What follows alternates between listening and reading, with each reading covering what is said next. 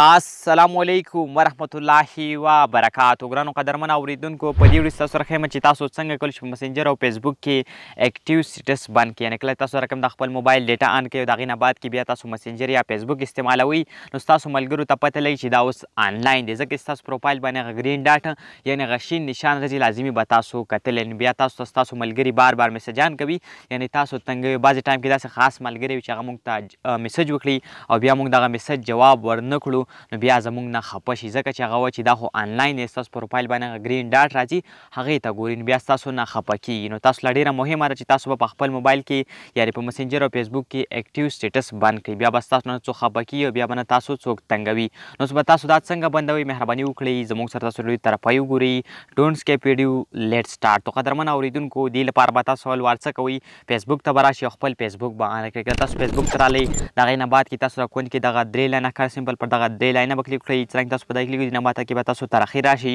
او په دغه ځای کې یو آپشن تاسو ته ښکاري سیټینګ اینډ پرایویسی تاسو به سمپل پر دغه سیټینګ اند پرایویسی کلیک کړئ واپس تاسو دغه سیټینګ آپشن رالو تاسو به سمپل پر دغه سیټینګ آپشن کلیک کړئ څرنګه تاسو په دې کلیک دینه بعد کې به تاسو لګ لاند راشي او په دې ځای کې به تاسو اکټیو سټیټس د تاسو رخیمه په دغه ځای کې لیکړئ تاسو ایویډنس انویزیبیلیټی ته راشي بیا تاسو لاند راشي دغه بلاګینګ سره لیکړئ اکټیو سټیټس تاسو به سمپل کاری تاسو سمپل پر دای کلیک کړئ او تاسو واکه به دا داسې آن وي تاسو به واپس ټرن اپ کړئ مطلب دا بټن به بند کړئ نو په فیسبوک کې تاسو هغه ګرین ډاټ به تاسو په پروفایل باندې نه راځي اوس په مسنجر کې څنګه بندوي دې لپاره به تاسو راشي مسنجر ته او خپل مسنجر به ان کړئ کله تاسو مسنجر ته راغلئ دینه بعد کې بیا تاسو څه وکړئ تاسو په خپل پروفایل کې وینئ کوم چې تاسو خپل پروفایل کړی مسنجر سره تاسو کوم پروفایل لګولې په هغه به کلیک کړئ ساري زه واپس لګ کنټینیو کوم نو په هغه پروفایل به تاسو کلیک کړئ څنګه تاسو په هغه کلیک دینه بعد کې تاسو لګ لاندې راشي او په دغه ځای کې لیکړئ اکټیو سټیټس تاسو په هغه کې به دا داسې آن وي تاسو به واپس پر داسې بټن کلیک کړئ او دا به تاسو واپس ټرن آف کړئ مطلب بند به یې کړئ نو بس تاسو په مسنجر او فیسبوک کې اکټیو سټیټس نه راځي مطلب هغه شین ډاټ به نه راځي